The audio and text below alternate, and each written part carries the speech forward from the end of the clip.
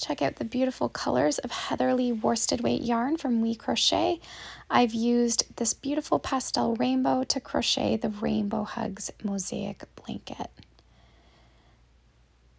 You'll work single crochets, drop down double crochets, and you'll be chaining one and skipping a stitch to create this beautiful mosaic pattern.